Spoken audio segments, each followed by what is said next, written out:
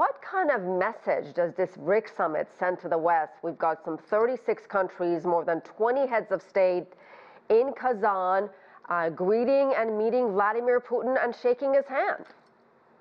Well, that's right. So, first of all, um, the Western um, attempt to isolate Russia uh, hasn't worked um, and uh, didn't even start working from the very beginning of the invasion of Ukraine in 2022. That's number one. But number two, and even more broadly, Asieh, th- th- this is the sign of things to come. Uh, what we're seeing in uh, Kazan are the outlines of the multipolar world with all of its uh, birth pangs. Uh, so this is the wave of the future. This is the global majority coming together to um, essentially set up a an economic uh, system that is um, not anti-Western but simply non-Western, where these non-Western actors get an equal say in the rules of the game as it's played.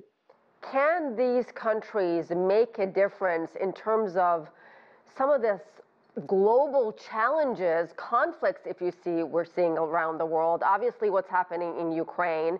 Um, also, what's happening in Lebanon and Gaza. I mean, BRICS has been around a long time. This conflict has been going around for more than a year now. And yet, where is the blueprint for solution? Where is the proposal? I mean, if they can really truly make a difference, the West would like to see it. Bring it on. That's right. Uh, except that BRICS is not a military uh, bloc. Um, it is also not an organization that's dominated by a hegemon. So the whatever decisions it makes, uh, it will have to make through consensus. But ultimately, um, I think it's very important for the viewers to remember that BRICS is a forum.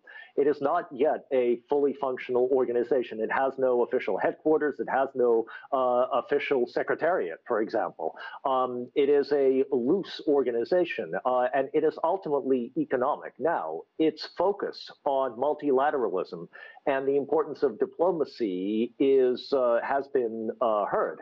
Um, but it is not an organization that can step in and impose diplomatic uh, decisions. Not even the United Nations uh, can do that, and it has been a law, uh, around for a lot uh, longer. So I think the key here is to tamper expectations in terms of the BRICS solving uh, world crises, but look at BRICS more as the outcome of those uh, crises. Because once the West weaponized its um, its currencies and its economic systems it encouraged the development of alternative ways of trading. Professor, you brought up the good word here, consensus. Uh, will BRICS expansion with these new members make consensus or reaching a consensus on economic issues, on whatever issue? Will it make it more difficult?